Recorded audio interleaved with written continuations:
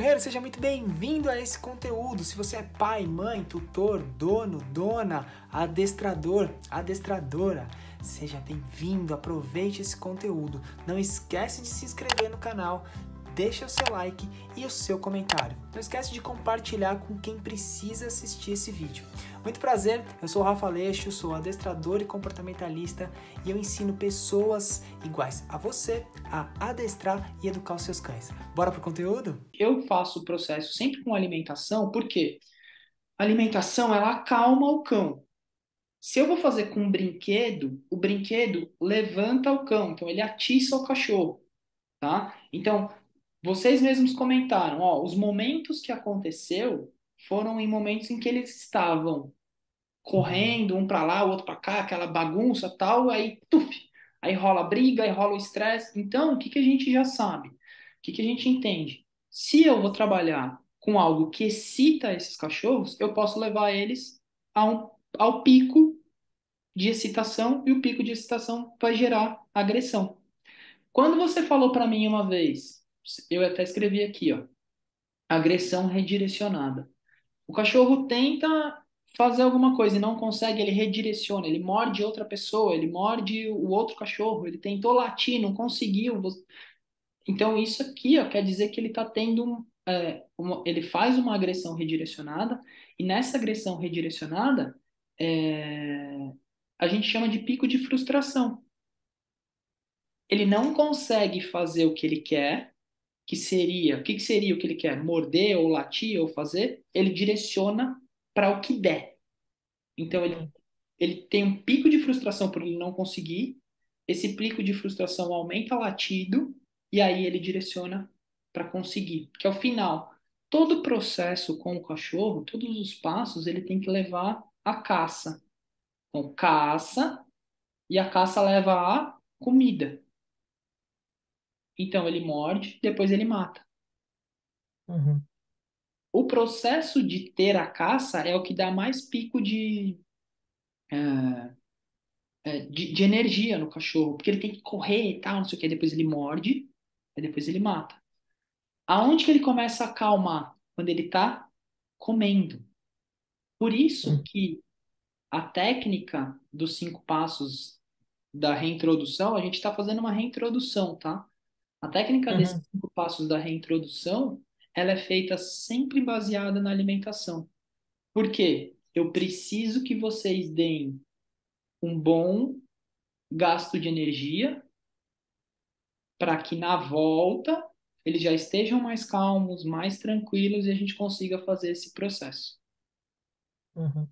Essa parte, igual você falou, que a gente falou dessa, que acontece ali na, na porta de vidro, que ele vê a, a Mila, que é a mãe lá fora, né?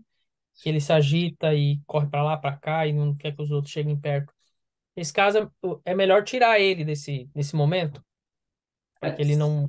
Sempre que a gente perde o cachorro ali, quando eu falo perde, né? Sempre que ele entra no comportamento que para a gente não é o comportamento adequado, a gente hum, vai ser difícil retornar, voltar, concluir, conseguir alguma coisa ali com o cão, sabe? Não, não, tô falando do processo entre eles. Eu tô falando, nesse caso, só, o que acontece hoje, normalmente, né? Que ele fica olhando para fora, independente do outro cachorrinho estar tá perto. Tá. Até com as fêmeas, as fêmeas vão ali, late para ele, querem morder ele, e ele fica bravo e quer revidar, entendeu? Ele quer dar um. Porque ele quer só ele naquela atenção ali de fazer aquilo. E quando ele não tá, também o outro fez, né? o outro, quando não é com ele, o outro faz também. É o outro macho que faz. é o comportamento coisa. que eles têm ali de fazer a mesma coisa. Eu estou dizendo assim, quando tem esse tipo de comportamento, é melhor tirar o cachorro para ele dar uma acalmada, que a gente às vezes faz isso, tira daquele momento, parece que ele fica meio né, em, em, em transe, assim, parece que quer, como você está falando, é, ele é, se ele não consegue ir lá fora fazer o que ele quer, ele quer morder uhum. alguém. Uhum. Então, nesse caso, é sempre melhor tirar eles desse, desse momento, distrair Exato. com alguma coisa, puxar é. e fazer. É, Outra então, coisa. Nesse caso, gente... quando, Pode você, falar. quando você tira o cachorro ali do que ele está fazendo, o ideal é previ, prevenção. Então, antes de acontecer, direcionar o cachorro para outro para outra coisa. Hum. Antes hum. de acontecer.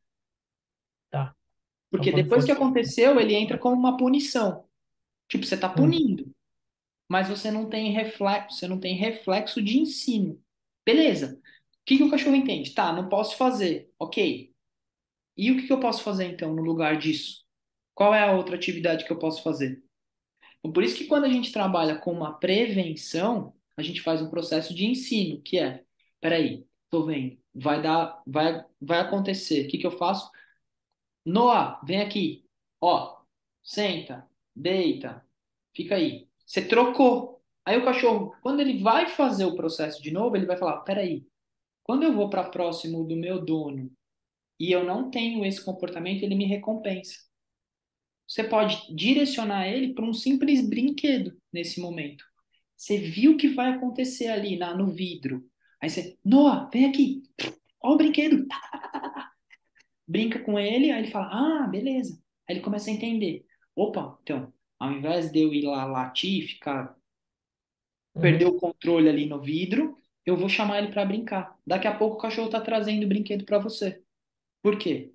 Ele, você conseguiu fazer um processo de ensino. O cachorro foi ensinado a ele mesmo resolver um problema que para vocês era um mau comportamento, tá? A gente precisa entender que para o cão nunca é um mau comportamento, mesmo ele brigar com outro cachorro. Para ele não é Uhum. mau comportamento. Para ele é o ciclo de vida, é natural, é isso que eu tenho que fazer. Então, o que que a gente faz? A gente dá ferramentas para o cão, né? Mostra ferramentas para o cão. Aí por isso o processo de ensino. A gente ensina o cachorro o que a gente quer que ele faça, para que ele venha fazer um novo comportamento que seja mais recompensador para ele do que o comportamento antigo. Quer dizer, bronca, bronca, bronca, na verdade, não resolve problema nenhum.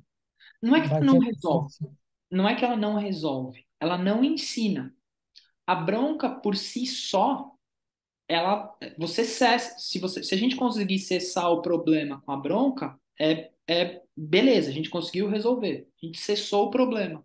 Mas a gente não mostra para o cachorro o que ele tem que fazer.